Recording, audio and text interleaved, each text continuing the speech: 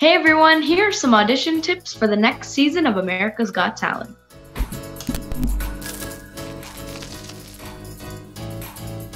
My name is Alex Hooper, and if you're going to go on America's Got Talent, the biggest piece of advice that I can give you, you should be practicing every single day. Go out there and make sure that you are prepared and ready to blow everyone away.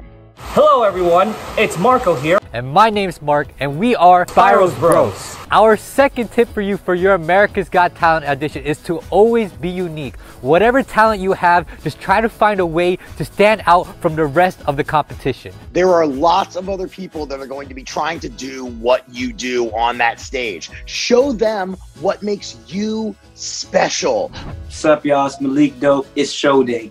You gotta put on your flyest outfit, whether your suit, your dress, your cape, whatever makes you feel the flyest, you need to do it. You gotta dress the part. Wear your best outfit to impress the judges, and not only the judges, but the world.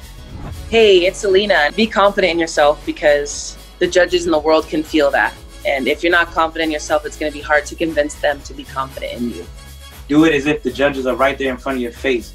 Don't be afraid of your nerves. Everyone's going to be nervous. Those butterflies in your stomach, they're there to support you and cheer you on. I'm Jonathan Goodwin, the Daredevil. Don't leave anything in the tank.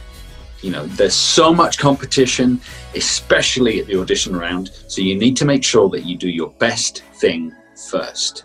Give everything you have because you only have one chance. So do not hold anything back. Make sure you bring the best version of yourself and to always bring that energy. Hello everyone, here's Alan Silva. It's very important uh, to show how professional you are. This footage, whatever you're going to film, is potentially going to be seen by the entire nation. Don't have uh, your dog running around while you're doing your performance or barking, um, a lot of background noise. Make sure that you have, you know, uh, lights that you are well lit so people can see you properly. And, uh, you know, that will just give you, you know, the best shots in your audition. This is your opportunity to show the world who you are and what makes you special. I want to see your act.